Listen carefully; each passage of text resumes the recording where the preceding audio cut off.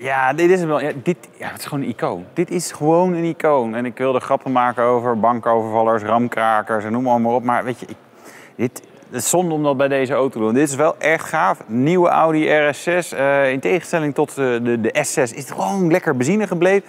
Zijn er maar weinig dingen echt overgenomen van de Audi A6. Dat is wel grappig. Eh, Vertelde ze even. De deuren voor, de dakplaat en de kofferklep. De rest is allemaal specifiek voor de RS6. Dus dat is best wel grappig. Daar komen we straks nog wel even een beetje op terug. Ehm, het is ook echt veel meer widebody eh, geworden. Omdat de normale A6 is wat smaller. Eh, en omdat ze eigenlijk een, ook een aantal elementen van de RS7 hebben gebruikt. Betekent dat deze auto 80 mm breder is. 8 centimeter. Dat is vrij fors eh, ten opzichte van de normale A6. Daardoor kunnen ze bijvoorbeeld ook grotere wielen gebruiken, 22 inch eh, tot eh, grote remmen. Eh, de stalen rem is 420 mm, 10 zuigers. Optioneel keramisch, eh, 440 mm. ehm, en dan heb je ook 10 zuigers. En wat wel aardig is, nu tegenwoordig met de zuigers van de, de, de klauwen, moet even goed zeggen, klauwen van de remklauwen kun je ook gewoon de kleur kiezen. Dus rood en zwart in ieder geval voor staal en rood, blauw, geel voor keramisch. Nou, ik kan het ook mis hebben. Zoek je maar even op bij Audi, maar dat is natuurlijk wel gaaf om te zien. De voorkant, ja, hier gebeurt het natuurlijk. Hier onder de motorkap, die tegenwoordig een powerdome heeft. Uniek is ook weer aparte motorkap dus voor de RS6. Wel leuk hoor, ze hebben echt veel aangepast. Eh, die 4 liter V8 biturbo, 600 pk, 100 Nm meer dan de vorige eh, RS6, dus 800 Nm koppel.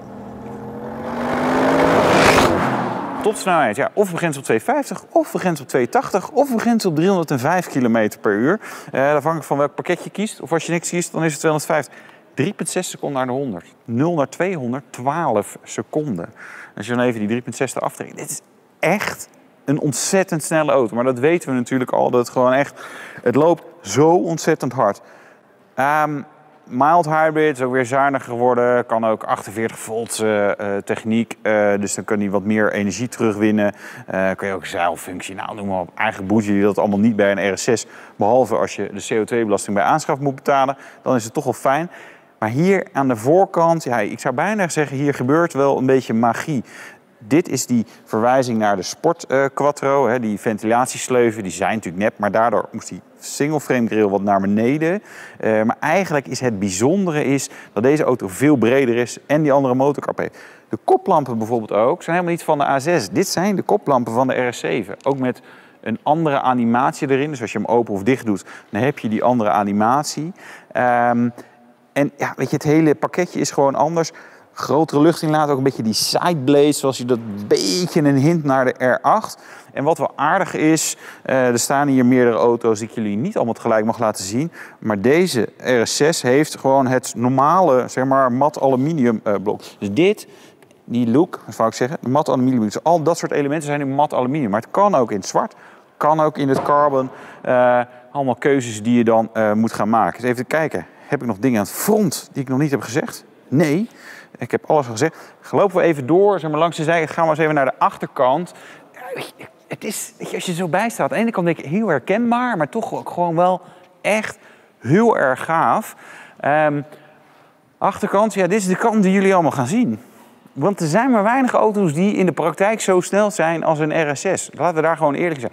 Met freewheel-aandrijving, met ja, toch gewoon zeg maar, heel toegankelijke prestaties. Weet je, dat is het fijne aan eh, deze auto. Hier zie je ook weer die aluminium, hè, het mat aluminium. Dit kan dus ook in carbon en in zwart. Hij heeft wel de sportuitlaat. Dat zie je aan die eh, zwarte uitla- uitlaateinden. Eh, dus dan maakt hij nog wat meer herrie en heeft ook een klep, kan hij schakelen. Ehm, die aluminium boog, die is nu boven de uitlaat gekomen. Ook een beetje ja, wat andere stands te geven eh, aan eh, de auto. Eh, we gaan natuurlijk nog een keer rijden hiermee. En dan gaan we ongetwijfeld merken dat het helemaal fantastisch is. Eh, dus daar moet ik misschien niet al te veel nu over roepen. Over ja, de theoretische opties die ze hebben aangepast. Hey, je hebt Audi Dynamic Ride Control. En je hebt alle opties die je daarvoor kan gebruiken. Maar dat is misschien niet het meest boeiende. Kunnen ook nog even eh, in het interieur misschien gaan kijken. Vergeet nog één ding over de lampen. Eigenlijk aan de voorkant. Die zijn tegenwoordig ook zwart. Ze zijn donker gemaakt. Ze hebben zeg maar echt die donkere look. Interieur is ook wel gaaf om te zien natuurlijk. Dit stuurwiel bijvoorbeeld is, is het standaard RS6-wiel. Maar je kunt hem dus ook een Alcantara krijgen. Je ziet hier een soort donker aluminium uh, interieurstrips. Dat is ook standaard uh, RS6. Maar kan je ook weer carbon en vast als je nog helemaal gekke dingen wil. Ook bij Audi Exclusive kan dat natuurlijk doen. Um, het leer cognackleur. Dat is wel nieuw voor de RS6. Deze combinatie zal uh, Willem, uh, zeg maar mijn collega Willem, ook helemaal goedkeuren. Het lijkt ook een beetje op onze Alfa Giulia duurtesten, die inmiddels alweer een ander baasje heeft. Donkergrijs buiten, bruinig leer binnen. Het is wel echt een hele mooie combinatie. Um, we hebben een aantal specifieke dingen die nu uh, voor de Audi RS6 erbij komen. Bijvoorbeeld in het virtual cockpit. Je hebt een RS-mode knopje op het stuur. Als je daarop drukt, krijg je ook een soort hockeystick-achtige toerenteller. Zeg maar verwijzing naar de Audi Ur Quattro. Maar met die knop kom je ook bij uh, twee modi RS1 en RS2. Want je hebt natuurlijk Audi Drive misschien natuurlijk, misschien ken je het niet, maar Audi Drive Select kan je nou, een comfort en een sportstand kiezen en noem het allemaal op. Um, maar met die RS1 en RS2 kun je dus maar heel specifiek instellen wat je uh, wil dat bijvoorbeeld de bak doet. Je wilt de bak wel in uh, uh, sportstand, maar onderstel misschien zacht en de sporter laat dicht. Nou, dat kan je allemaal programmeren. Dat zijn wel mooie dingen waar je gewoon snel bij kan, zodat je die auto toch zeg maar e verder naar je eigen hand kunt zetten. Um, in het MMI ook wel gewoon wat gave dingen. En in die virtual cockpit ook, zeg maar, wat extra dingetjes met G-meters. Maar bijvoorbeeld ook temperaturen van banden. Maar ook een, een hele mooie animatie met temperatuur van de auto zelf. Dus zeg maar de motor, de bak, uh, differentieel, uh, remmen. Zodat hij echt maar ook met kleuren aangeven. Joh, hey, nou, de motor en bak worden een beetje warm, maar de remmen gaat dan wel. Natuurlijk weet ik dat je niet op de Nürburgring kijkt, uh, rijdt en dan daarop zit te kijken. Maar het zijn wel leuke gimmicks die, ja, die toch gewoon bij een auto zoals uh, dit horen. En ja, weet je, het hele idee ook, en daarom is het ook belangrijk om het interieur te behandelen voor een RS6, is natuurlijk ook dat dit is de auto waarmee je natuurlijk feitelijk alles kan. Hiermee kan je eh, op wintersport zeg maar, echt hoog snel naar de autobaan, lekker uh, veilig nog steeds onderweg zijn.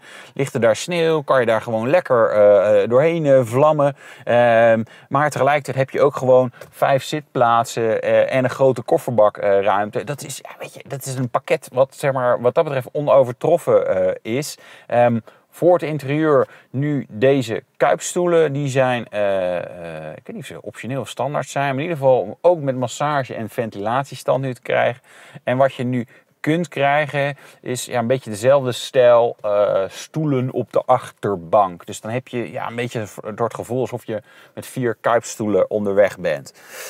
Ja, dan kan ik nog heel veel andere dingen laten zien. Maar ja, eigenlijk de volgende stap is gewoon rijden. Dus ik hoop dat we daar ook, nou nu gaan we er niet aan toe komen, maar dat gaat komen. We gaan rijden met de nieuwe RS6. En, en, en wat grappig is, deze auto is inmiddels al sneller uh, dan de RS6 Performance, zeg maar de vorige versie. Dus dat belooft wat. En er zit nog potentie in dat blok, dat weten we.